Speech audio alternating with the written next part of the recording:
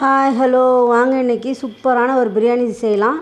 எவ்வளோ தான் பிரியாணி செஞ்சாலும் இந்த கிராமத்து ஸ்டைலில் நம்ம மசாலாலாம் உரல்ல இடித்து செய்யும்போது ரொம்ப டேஸ்ட்டாகவும் நல்லாயிருக்கும். வாங்க எப்படி செய்கிறதுன்னு பார்க்கலாம். அதுக்கு உரல்ல இஞ்சி பூண்டு சின்ன வெங்காயம் போட்டு நல்லா ஒன்றும் பாதியமாக இடித்து எடுத்துக்கோங்க. நல்லா ரொம்ப ந- மசியக்கூடாது. ஒரு ஒன்றும் பாதியமாக இடித்து எடுத்தாவே போதும். அப்போ தான் டேஸ்ட் நல்லாயிருக்கும்.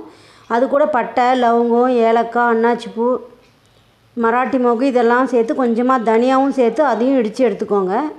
இதுவும் ரொம்ப நைஸ் ஆகணும்னு தேவையில்ல. கொஞ்சம் குறை குறைன்னு இருந்தால் கோர்ஸ் மாதிரி பதத்தில் இருந்தால் போதும். அப்போ தான் அந்த பிரியா பிரியாணிலே ஃப்ளேவர் நல்லாயிருக்கும் இதெல்லாம் நல்லா இடித்தா கோர்ஸ் பேஸில் வாரி வச்சுட்டு அதுக்கப்புறம் பச்சை மிளகாவும் போட்டு இதுலேயே ஒரு இடித்து எடுத்து வச்சுக்கலாம். எல்லாமே இடித்து செய்யும் போது வந்து டேஸ்ட்டும் நல்லாயிருக்கும் அதோட ஃப்ளேவரும் ரொம்ப நல்லாயிருக்கும் பிரியாணியில் ஒரு ஏழு எட்டு பச்சை மிளகா போட்டு அதுவும் இடித்து எடுத்து வச்சுட்டு இப்போ பிரியாணி தாளிக்கிறதுக்கு ரெடி பண்ணிக்கலாம். வானல் வச்சுட்டு இல்லை ஒரு பாத்திரம் வச்சுட்டு தேவையான அளவுக்கு எண்ணெய் சேர்த்துருங்க. இந்த எண்ணெய் ஊற்றும் போது கொஞ்சம் தேங்காய் சேர்த்து ஊற்றுனீங்கன்னா டேஸ்ட் நல்லாயிருக்கும். இடித்து வச்ச ஸ்பைசஸ் பச்சை மிளகா போட்டு நல்லா வணக்கி விட்டுடுங்க. அதெல்லாம் வணங்க வந்து வெங்காயம் இஞ்சி பூண்டு இடித்து வச்சுருக்கிறது. கூடவே ஒரு பெரிய வெங்காயமும் கட் பண்ணி இதில் சேர்த்துக்கோங்க. நம்ம இடிக்கிறதுக்கு சின்ன வெங்காயம் தான் போட்டிருப்போம். இப்போ கட் பண்ணி தாளிக்கிறதுக்காக பெரிய வெங்காயம் ஒன்று போட்டு அதையும் நல்லா வணக்கி விட்டுடுங்க. நல்லா பொன்னிறமாக ஆகிற அளவுக்கு நல்லா வணங்கணும்.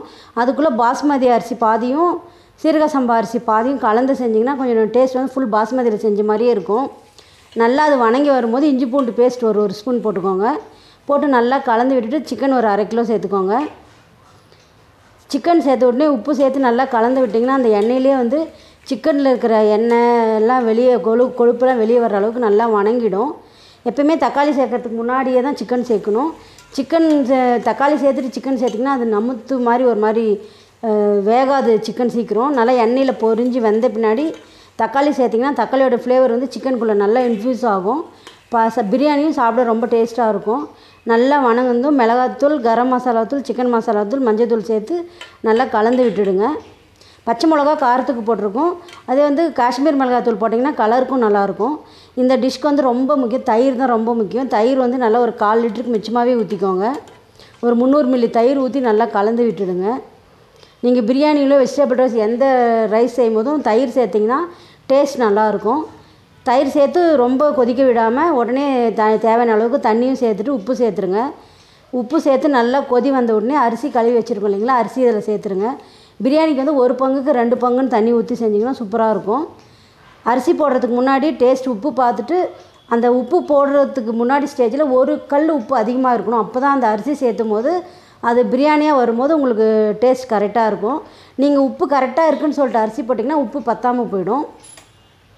எப்பயுமே பிரியாணி செய்யும்போது சும்மா அரிசி போடுறதுக்கு முன்னாடி தண்ணி டேஸ்ட் பண்ணும்போது ஒரு கல் உப்பு அதிகமாகவே இருக்கணும். அப்புறம் புதினா கொத்தமல்லி சேர்த்துட்டு நல்லா கலந்து விட்டுட்டு நல்லா அதை கொதிக்க விட்டு ந லோ ஃப்ளேமில் நல்லா வேக விட்டுருங்க. அதுக்குள்ளே தயிர் பச்சடி செஞ்சுக்கலாம் தயிர் பச்சடி செய்யும்போது வெங்காயத்தை நல்லா கழுவிட்டு செஞ்சு பாருங்கள் ஹோட்டல் டேஸ்ட்டில் சூப்பராக இருக்கும் தயிர் பச்சடி. நல்லா கலந்து விட்டிங்கன்னா நீங்கள் பாஸ்மதி அரிசி நீங்கள் ஒரு டம்ளர் பாஸ்மதி அரிசி ரெண்டு டம்ளர் சீரக சம்பா அரிசி போட்டு செய்யும்போது ஃபுல்லாக பாஸ்மதி அரிசியில் செஞ்ச மாதிரியே நல்லா உங்களுக்கு நீட் நீட்டமாக நல்லா டேஸ்ட் இருக்கும்.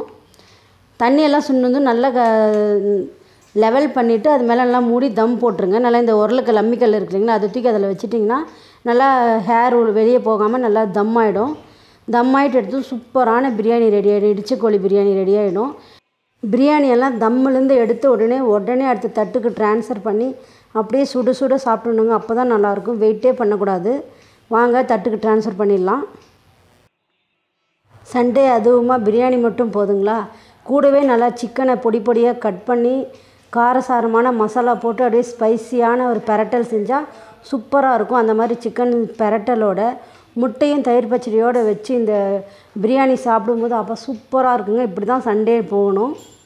தயிர் பச்சடி செய்யும்போது மட்டும் நல்லா கழுவிட்டு செஞ்சு பாருங்கள் நீங்கள் ஹோட்டலில் போய் சாப்பிட்ற தயிர் பச்சடி டேஸ்ட்டில் அப்படியே இருக்கும். கூடவே கொஞ்சம் கொத்தமல்லி தக்காளி எல்லாம் சேர்த்து தயிர் பச்சடி செய்யும்போது அவ்வளோ நல்லாயிருக்கும் நல்லா பிரியாணியில் இருக்கிற பீஸோட கொஞ்சம் பிரியாணியும் அந்த சிக்கன் பெரட்டல் கொஞ்சமாக முட்டை தயிர் வெங்காயத்தோடு சாப்பிடும்போது அவ்வளோ சூப்பராக இருக்குங்க. நீங்களும் ட்ரை பண்ணி பாருங்கள்